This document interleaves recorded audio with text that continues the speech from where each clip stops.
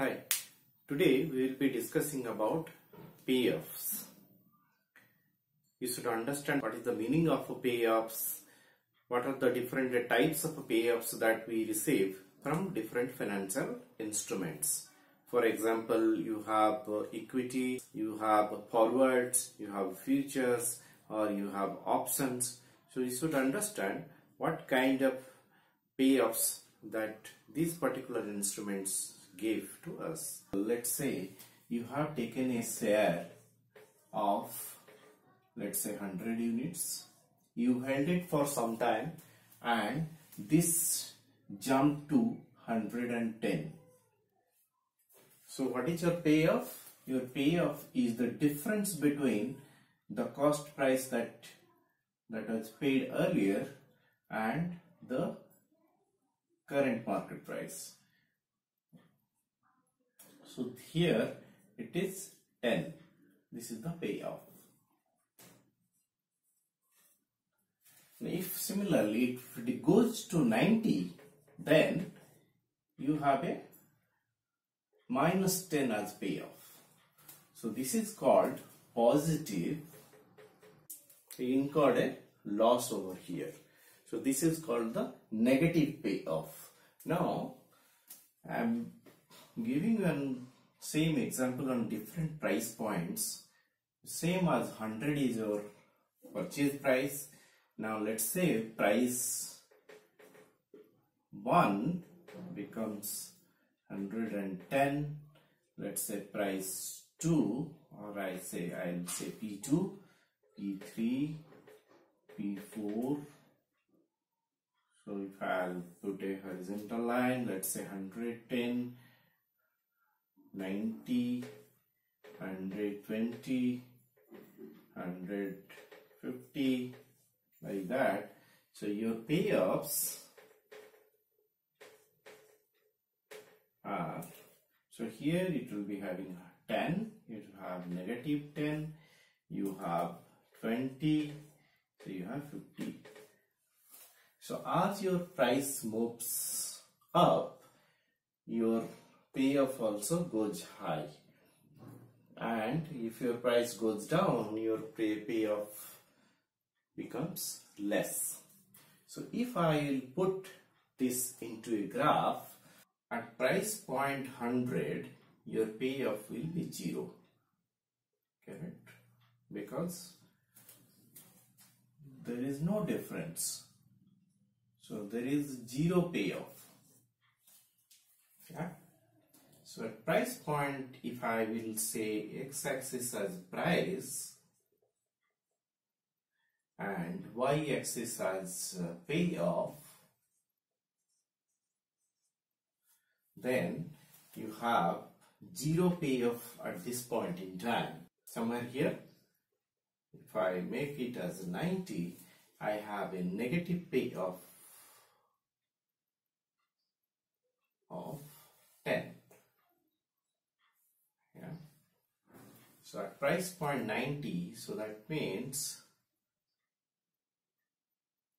my point will be somewhere here.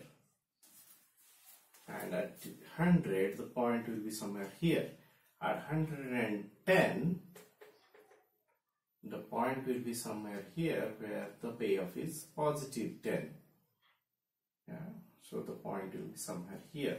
If you plot a graph the graph will look something like this sorry yeah the graph will look something like this and this point where it will meet the y-axis will be exactly 100 will be the cost price.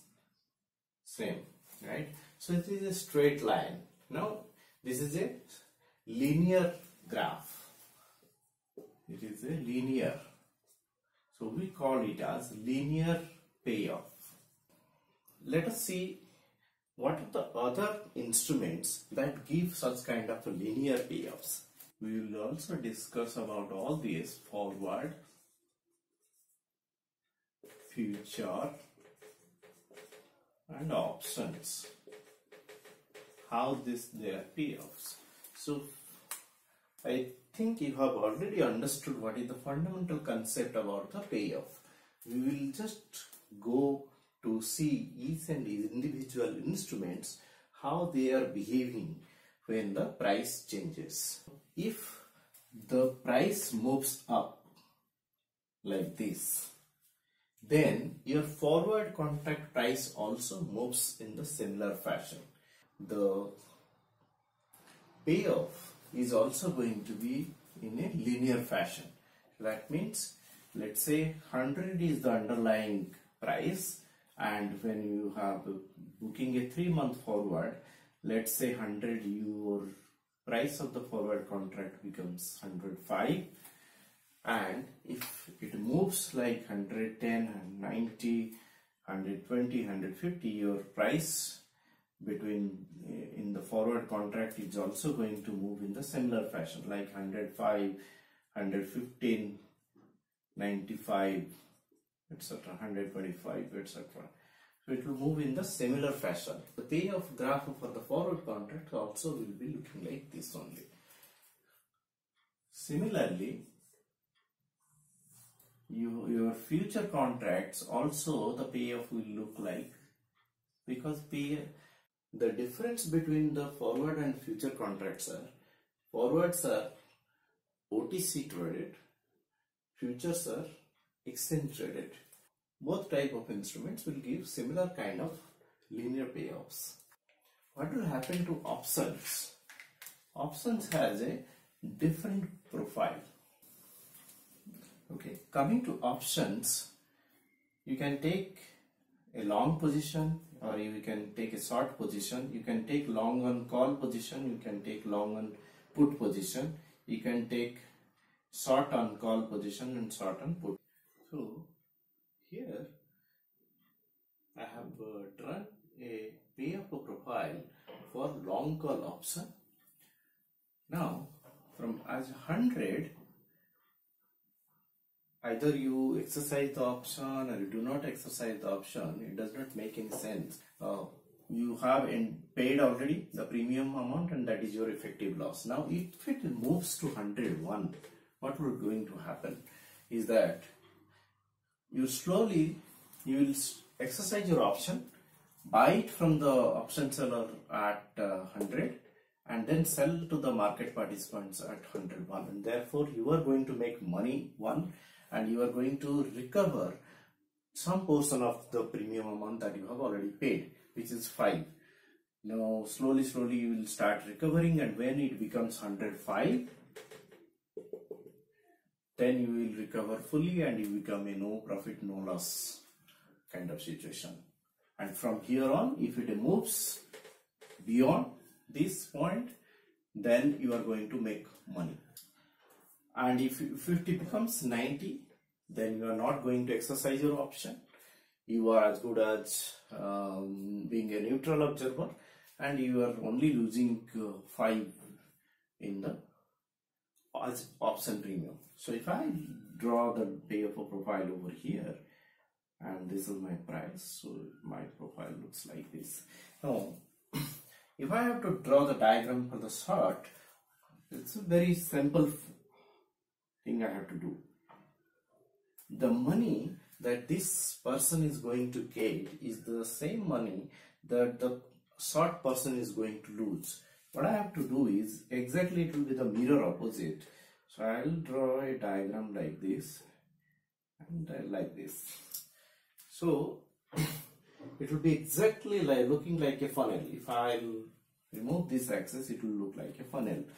So once I have 100 and uh, here we have taken the long put position long put means you have about the rights to sell at certain price. What is the, the that is the strike price. So let's assume that this is the same for as, as the previous example it's the same as 100 now if the market price is at 100 you may or may not exercise the option. It is not going to give any value. So if it is 100 you are essentially making a loss of the premium amount and if it goes beyond 100 let's say 110 you are not going to exercise the option. Rather you will sell it at the market. So beyond this 100 your loss is going to be only 5 that is the premium portion. Now, if it comes less than 100, if it becomes 99, what you're going to do is you buy from the market at 99 and sell at 100 to the option seller. You're going to get one and that one is going to recover partially whatever premium amount that you have already paid. So you are going to recover and slowly you, you will be coming to the money making. Now when it becomes 95 then you have recovered 5 and that will be effectively the amount that you have already paid so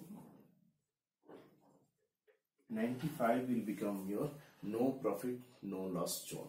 And beyond this that means 94 93 and all you are going to make the money. So for long put if i'll draw the diagram it will look like this. Now similarly if i draw the diagram for the short put i'll do similar mirror opposite and it will look like this if you remember these funnels, it's very easy to tell what kind of a payoff profile a short put will have, a short call will have, or long call or long put will have. So it's very easier. Hopefully you have enjoyed this video and uh, you have understood the concept about the payoff profiles. Um, we will discuss about the formula and all uh, which will help you in uh, resolving the problems in other videos.